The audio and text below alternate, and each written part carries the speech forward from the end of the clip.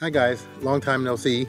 I've been on kind of a little bit of a sabbatical, doing some other things. I've been trying to improve the channel in terms of the search engine optimization and uploading uh, videos to both Daily Motion and Rumble, but I'm starting to get back into making some videos and I apologize for the delay.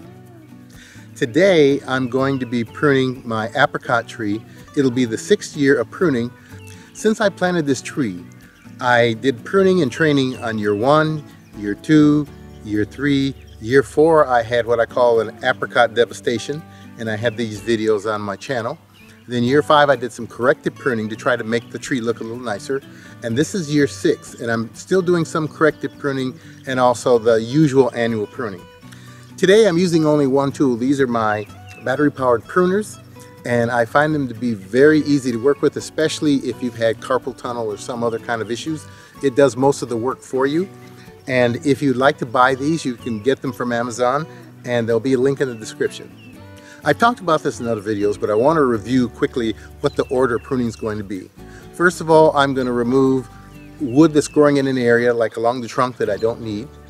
Also, I'm going to grow, get rid of all the wood that's growing straight up I'm also going to cut some of the most vigorous branches up toward the top of the tree that are going to make the tree very large. I want to try to keep it as low as I can, even though it's not technically a dwarf tree. And then I'll look for crossing branches and I'll do some thinning of branches because whenever you make a cut, especially when you're topping the tree to reduce the height, you'll get a lot of regrowth. And so I will thin out some of that growth. This whole pruning process shouldn't take me more than about 10 minutes video might take a little bit more than 10 minutes, but the actual pruning will take no longer than 10 minutes. Let's take a look at the tree and what we have to do. These are branches that are too low for the overall framework, so those will be removed. Also, here's an example of a crossing branch that'll have to be taken out. Then we have branches that are growing straight up, like this one right here.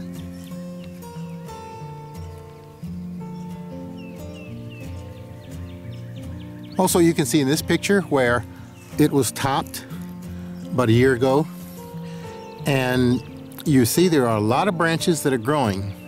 Some of these will be kept, some of them will be shortened, and some of them will be removed altogether. Especially this one will be removed because as you move up the tree, it goes up about six feet. Here's another very vigorous branch. I may just shorten it a little bit depending on what else I take out, but it is quite tall. That's at least seven feet tall. So you can see what we have to do and I'm gonna get started. One of the things that I wanted to remind you about when you're using these battery powered pruners, whenever you push the button, it's gonna cut no matter what you do. So you do want your fingers anywhere near this. It can take off a finger in a second. Now, I also noticed online that there are some where you can have a pruning glove that you wear that if the blade comes into contact with that pruning glove, it'll immediately stop. You might want to consider those. With this one, I always make sure that my left hand is nowhere near this blade.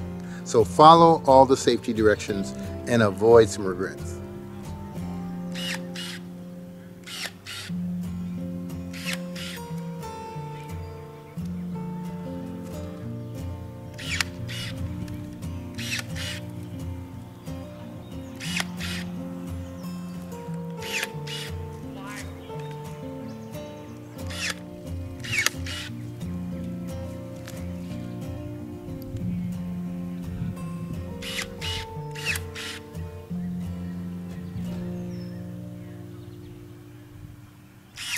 Now normally what I do is I'll start on one part of the tree and I'll decide on what I'm going to work on like all the upward growing branches or whatever and then I'll just go a circle around the tree. I'm kind of doing things randomly today so uh, it depends on your personality. Some people are very organized about how they do things.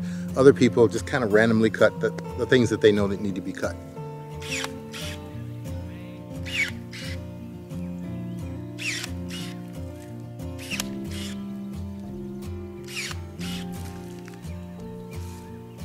Course, another thing that you want to make sure you take care of is any dead branches, which are fairly obvious to tell because they're gray and there's no growth.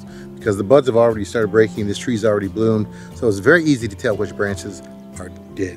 Here's the tree so far, and it's about eight feet tall at the tallest point, so I have it at a height that I can manage.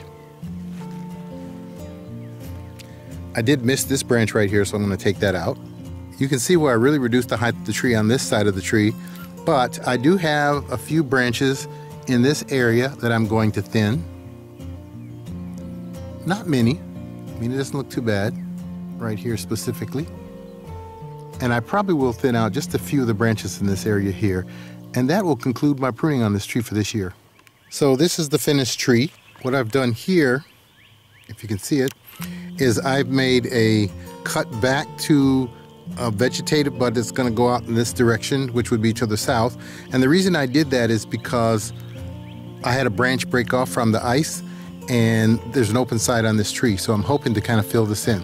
And if you look up here in the top, I've thinned out these branches. They don't look too different, but I, I took some more things out, but there's plenty of space for light to get through. And um, I may trim some of these back a little bit after they produce. You can see these two are still a little high. That extends out to, as a matter of fact, this one on the right that you see right up in there, I think I'll probably go back in and take that out. But for the most part, everything is done on this tree. And of course, I will revisit a little later and see how things are growing. So that's it for today, and I'll see you later.